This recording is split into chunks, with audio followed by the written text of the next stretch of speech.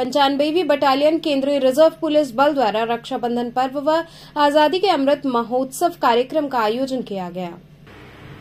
पंचानबेवी battalion केंद्रीय reserve police बल के कमांडेंट अनिल कुमार वृक्ष के मार्गदर्शन में पंचानवे बटालियन केंद्रीय रिज़र्व पुलिस बल मछोदरी पार्क में रक्षाबंधन तथा आज़ादी के अमृत महोत्सव कार्यक्रम का आयोजन किया गया, जिसमें एनजीओ की वैश्य समाज महिला संस्था के अध्यक्ष सुष्मिता केसरी द्वारा बल के राम कुमार सिंह तथा उप निरीक्षक विष्णुकांत दुबे सहित अन्य जवानों को राखी बांधकर त्योहार को हर्षोल्लास के साथ मनाया गया।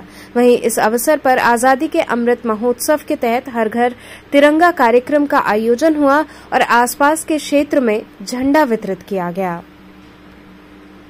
भारत माता की जय। भारत माता की जय। भारत माता की जय। वंदे मातरम। वंदे मातरम। वंदे मातरम। आवाज़ दो। आवाज़ दो।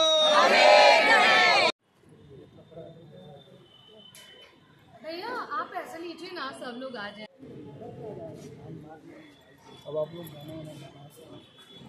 सर आज किस तरह का कार्यक्रम चल रहा है? आज जो है रक्षाबंधन का भी पर्व है तो पहले तो सभी देशवासियों को रक्षाबंधन की ढेर सारी शुभकामनाएँ।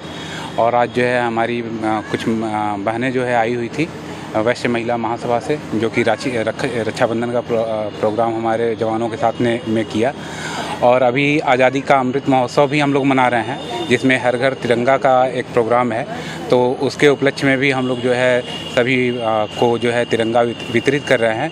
और हम लोगों का पूरा प्रयास ये है कि अपने आसपास और जितना भी क्षेत्र हम कवर कर सकते हैं सभी के घर जो है तिरंगा फहराया जाए और आज़ादी को हम लोग जो है बहुत हर्षोल्लास से मनाएँ। किस तरह का संदेश देंगे सर?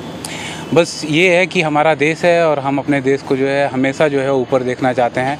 ये पूरी टीम जब पूरा देश एक साथ काम करता है तो फिर जो है जाति धर्म से ऊपर उठ के देश के लिए, देश के स्वाभिमान के लिए हम लोग एक साथ मिलकर काम करें और अपने देश का नाम हमेशा ऊपर करें